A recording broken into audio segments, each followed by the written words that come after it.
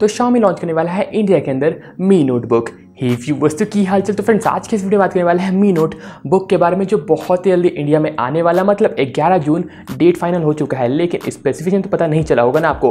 तो मैं बताता हूँ, क्या आपको इसके अंदर देखने को मिलेगा, किस प्राइसिंग में देखने को मिलेगा और कैसा डिज़ाइन होने वाला है। तो वीडियो को टिल द एंड देखना, ये लैपटॉप आपको फोर्टी के अंदर में होने वाला है, जिसमें कमाल का स्पेसिफिकेशन तो मिलने वाला है, ये साथ में प्राइसिंग बहुत ज़्यादा एग्रेसिव होने वाला है। तो वीडियो को टिल द एंड देखना, आज की इस वीडियो में इसी के बारे में हम लोग फुल डिटेल में बात करने वाले हैं। तो आज के इस वीडियो को लाइटर रहते हैं हंड्रेड लाइक्स और प्लीज़ लाइटर कंप्लीट कर देना। और ऐसे कमाल की वीडियोज़ रोज़ाना देखना रहते हैं उनको सब्सक्राइब कर लेना, क्योंकि कोई पैसे नहीं लगते हैं फ्री में सब्सक्राइब हो ही जाता है। तो चलो फिर शुरू करें। तो देखो ग्यारह तारीख को आने वाला है मी नोटबुक लेकिन ये होने वाला है एक रीब्रांड वर्जन जी हाँ फ्रेंड्स रीब्रांड होने वाला है ये रेडमी बुक 14 का। तो रेडमी बुक 14 आपको कुछ महीनों पहले लॉन्च हुआ था चाइना के अंदर, उसी का रीब्रांड वर्जन आपको इंडिया में मी नोटबुक के नाम से देखने को मिलेगा।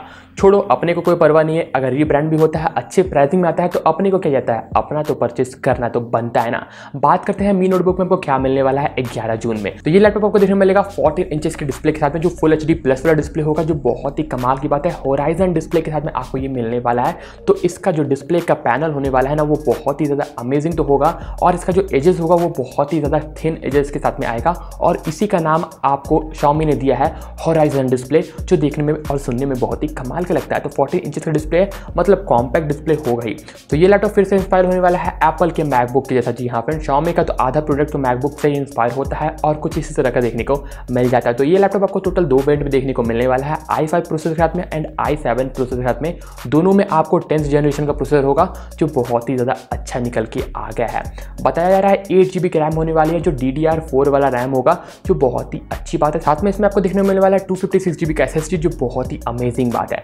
तो जैसे कि तो एप्पल के मैकबुक में बहुत ही बड़ा ट्रैक पैड होता है तो कुछ इस तरह का आपको मी नोटबुक में भी ट्रैक पैड बहुत ही ज़्यादा बड़ा देखने को मिलेगा, ताकि आपकी प्रोडक्टिविटी में बहुत ही कमाल का ये यूज़ हो पाए। तो बात करते हैं और कुछ फीचर के ऊपर। इसमें आपको देखने को मिलने वाला है एनवीडिया का ग्राफिक्स कार्ड जी हाँ फ्रेंड टू जी का ग्राफिक्स कार्ड होगा जो M X two five zero के साथ में आने वाला है, जो बहुत ही अच्छी बात है। मतलब गेमिंग के हिसाब से भी ये अच्छा रहने वाला है। वीडियो एडिटिंग बहुत ही कमाल का हो जाएगा। विंडो टेन पे ये आउट ऑफ़ द बॉक्स आपको देखने को मिलेगा, जो बहुत ही ज़्यादा अच्छी बात है।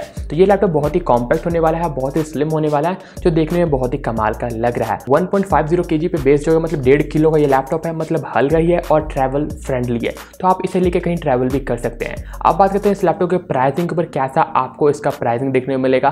तो ये लैपटॉप होने वाला है चालीस के अंदर। जी हाँ फ्रेंड्स इसका जो बेस वेरियंट होगा मतलब आई फाइव वाला वो आपको फोर्टी थाउज़ेंड के अंदर देखने को मिलेगा जो बहुत ही अच्छी बात है। और इसका जो आई सेवन और वेरियंट होगा वो अराउंड आपको फोर्टी फाइव तक देखने को मिल सकता है फोर्टी फाइव से फोर्टी सेवन तक। लेकिन कुछ इस तरह के प्राइसिंग के साथ में आने वाला है मी का नोटबुक जो बहुत ही अच्छा निकल के आया है।